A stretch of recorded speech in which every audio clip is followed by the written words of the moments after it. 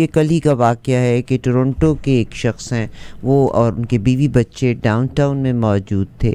और डाउनटाउन में रात को तकरीबन साढ़े ग्यारह बजे के करीब ग्यारह बजे का वक्त था। उनको एक ये येलो कैब नहीं है जो टैक्सी बैक की बैक की टैक्सी बैक की टैक्सी उनको एक नज़र आई। उन्होंने बैक की टैक्सी को हाथ दिया रोका और बीवी बच्चों समेत गाड़ी में बैठ गए। गाड़ी ने उनको डाउनटाउन से पिक किया और उसके बाद इनके घर लेके आई। जब घर आए तो वो कहते हैं मेरी और मेरी बीवी की अंडरस्टैंडिंग है कि हम जब भी कभी टैक्सी में सफ़र करते हैं तो हम कैश पे करते हैं। आ, और एक बात याद रखिए कि अपने वीज़ा और अपने डेबिट कार्ड को ये जो मॉम्स पॉप्स किस्म के स्टोर्स होते हैं मत इस्तेमाल किया करें। हमारा काम इन्फॉर्मेशन आप तक पहुंचाना है इसको इम्प्लीमेंट करना आपकी ज़िम्मेदारी है। तो ये कहते हैं कि मेन स्ट्रीम का लेफ्टिनेंट इनका नाम है अ, तो वो कहते हैं मेरी और मेरी बीवी के दरमियान ये तय है कि जब भी हम कभी टैक्सी में सफ़र करते हैं बैक की ये टैक्सी थी और नॉन टैक्सी उन्होंने उसको कैश दिया तो गाड़ी वाला जो ड्राइवर है वो कहने लगा कि unfortunately we do not accept cash उसने वजह ये बताई कि कोविड 19 के बाद से हमने कैश एक्सेप्ट करना शुरू, बंद कर दिया है। और अब हम सिर्फ़ और सिर्फ़ एक्सेप्ट करते हैं तो कार्ड एक्सेप्ट करते हैं। तो इन्होंने कहा कि जब उसने बड़ी लिजिटमेट कॉज बताई तो इन्होंने अपना वीज़ा उसको दिया। और वीज़ा उनके पास, जो शख्स के पास मशीन थी, वो ओल्ड स्टाइल मशीन थी। नॉर्मली जितनी नई मशीन है उसमें आप जब टैप करते हैं तो आपकी ट्रांसैक्शन हो जाती है। तो इस मशीन में ये था कि कार्ड को मशीन के अंदर डाल के आप अपना नंबर पंच करें। अनफॉर्चुनेटली जब इन्होंने अपना वीज़ा उस उस मशीन में अंदर डाला तो फेलियर हो गया, एरर आ गया। तो उसने कहा कि शायद इसने काम नहीं किया। आपके पास अगर डेबिट कार्ड है तो आप अपना डेबिट कार्ड इस्तेमाल करें। मीन वाइल उसने जब इसको वीज़ा वापस किया तो इस आदमी की प्रेजेंस ऑफ़ माइंड थी। तो इसने चेक किया कि तो जो कार्ड था, वो कार्ड इस आदमी का अपना नहीं था। इसने उसको फ़ौरन कार्ड दिया और उसने कहा, hey this is not my card मेरा कार्ड नहीं है। तो उसने दूसरा कार्ड दिया। उसने कहा सॉरी अक्सर लोग अपना कार्ड भूल जाते हैं। तो मैंने गलती से वो, लोग यहाँ भूल ही जाया करते होते। एक, आगे वो कहता है कि उसने कहा कि क्योंकि मशीन ने एक्सेप्ट नहीं किया, तुम्हारे वीज़े में कोई वजह होगी, तुम अपना डेबिट कार्ड दे दो। इस आदमी ने अपना डेबिट कार्ड निकाल के उसको दिया और देने के बाद वही कार्ड में टैप सिस्टम नहीं था। अंदर डाला, अपना नंबर पंच किया और प्रोसेस हो गई, उनकी पेमेंट प्रोसेस हो गई। This taxi driver was very greedy Beck taxi के नाम से ये टैक्सी चला रहा था।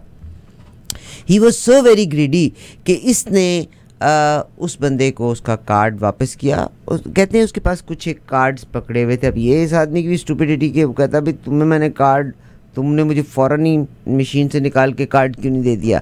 तो उसने उसके पास एक थद्दा सा था कार्डों का उसने वो कार्ड देख के एक कार्ड इसको वापस कर दिया, जो बिल्कुल इसके कार्ड के जैसा था। ये शख्स अपने घर आया। जब ये घर आया तो इसने अपने वॉलेट को चेक किया फ़ौर ही किचन में आके अपनी चीज़ों को रखा और जब इसने अपने उस कार्ड को चेक किया तो वो कार्ड इस शख्स का नहीं था। ठीक है? स्टीफन ड्यूटन इसका नाम है उसने कहा है if you are running around Toronto this season beware बाखबर हो जाइएगा ख़बरदार हो जाइएगा मैंने जुमे के दिन घर आने के लिए टैक्सी ली, घर पहुँचा तो मैंने, मैं आप, मुकम्मल स्टोरी अब आपके साथ जो शेयर कर रही हूँ। मीन वाइल आप इस ट्वीट को देखते जाएँ।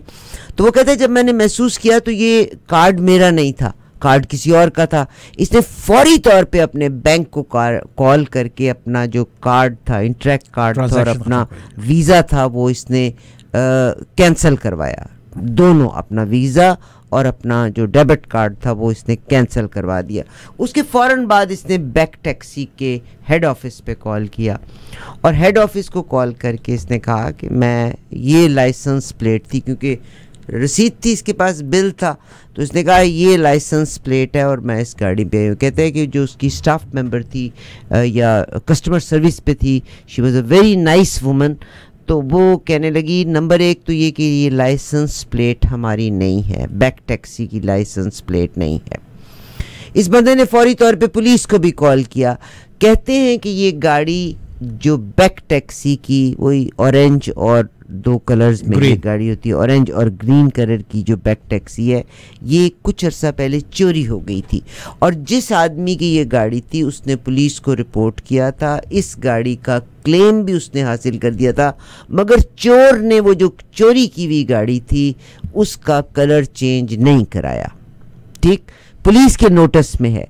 अब वो वो एक्सपायर्ड प्लेट समझ नहीं I don't know what it is उसका ज़ाहिर जिसकी गाड़ी चोरी हुई थी उसकी कंपनी को भी पता था कि ये लाइसेंस प्लेट चोरी हो गई भी है मगर चोर आज भी वो गाड़ी चला रहा है ओपन चला फिर रहा है तो बहरहाल लुबे लबाब ये है आरफा जी जो बैक जो टैक्सी है हम्म। उसने जब उनसे बात की गई तो उन्होंने कहा कि द बेस्ट तरीका है जब भी आपको टैक्सी की ज़रूरत हो तो आप हमें कॉल करें।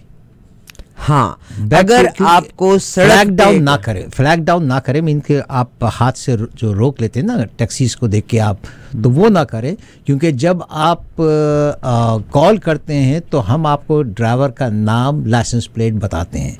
अच्छा अब उसमें उन्होंने ये कहा कि जब इस ये जो बैक टैक्सी की जो रिसेप्शन थी उन्होंने जब इस गाड़ी को ट्रैक किया तो इनकी कोई भी एक गाड़ी उस रूट पे नहीं चली थी जिस रूट से इन्होंने टैक्सी में ये लोग बैठे थे और अपने घर आए थे। इसका मतलब है ये वही चोरी वाली गाड़ी इस्तेमाल हो रही थी। बहरहाल इन दिनों में मेरी रिक्वेस्ट आपसे ये है कि ये जो जो कोशिश करें कि आप किसी के सामने अपने नंबर्स को टाइप टैप ना करें, या नंबर्स को आप पंच ना करें, और अगर आप करें भी तो बहुत मोहतात रहें कि कोई देख नहीं रहा। इवन ऊपर भी कैमरे लगे होते हैं, अब तो बाथरूमों में भी कैमरे लोगों ने लगाने शुरू कर दिया। बाथरूम में से क्या हीरे चोरी करने जब आप फ्रॉड की बात करिए आरफा जी, अब जो लेटेस्ट आया है, और वो लोग आपको कॉल करते हैं आपके घर पे एज हाइड्रो एम्प्लॉई और वो ये कहना चाहते हैं कि भाई आपका बिल पे ऑफ़ नहीं हुआ है, जो कुछ भी हुआ है, और उसके साथ साथ वो आपके घर में आकर चेक करना चाहते हैं। तो उनको एंट्री ना दें, क्योंकि हम कभी भी आप लोग, इन लोगों को कस्टमर्स को कभी कॉल नहीं करते हम। डोंट बिलीव अगर आपको कोई कॉल करके कहे तो उससे बेहतर है कि आप खुद एक कंपनी का नंबर निकाल के कॉल करके जैसे मुझे ही डक्ट क्लीनिंग की ज़रूरत है आजकल। तो जो कोल्ड कॉल वाले हैं मैं उनको तो नहीं बिज़नेस दूँगी यार। ब्रादर कॉल समबडी या आप अगर सुन रहे हैं तो I need duct cleaning in my home better get it done by somebody I know हो गया जी काम आपका। अकॉर्डिंग टू फोर्ब्स मैगजीन अरफाजी 2022 के बिलियनर्स ऑफ़ द वर्ल्ड का नाम आ गया है। And it is not Elon Musk you are right मगर आप फ़िक्र नहीं करें Elon Musk will be back very soon yes you are right again 2668 billionaires जो है वो पाए गए ट्वेंटी ट्वेंटी टू में। ये सारे वो हैं जिन्होंने अपनी इनकम डिक्लेयर की हुई है। ओके okay, ऐसे बहुत सारे बिलीनर्स हैं हमारे मुल्कों में जिन्होंने अपनी इनकम जो है डिक्लेयर नहीं की है तो उनका नहीं और उनमें से आप भी हैं। यस मैं भी हूँ उसमें।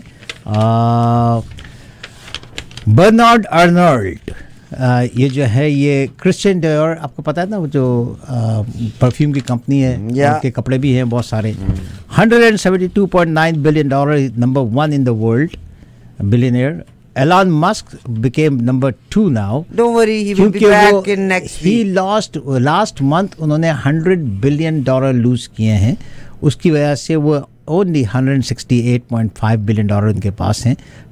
He is about 51 years old Gautam Ambani Adani Gautam Adani from India from India. He's number three in the world. 125 mil- billion dollars. He's 60 years old. Bill Gates is 115 billion dollar इनके पास हैं और Microsoft के जनाब 67 years old. Jeff Bezos Amazon वाले 114 billion dollars इनके पास हैं 58 ईयर उम्र है इनकी वॉरेन बफे आपके अच्छे दोस्त Warren Buffett 108 billion dollars इनके पास हैं। He is only 92 years old Larry Ellison Oracle के सीईओ 93.7 बिलियन के मालिक uh, माजिद भाई आप छोड़े परे।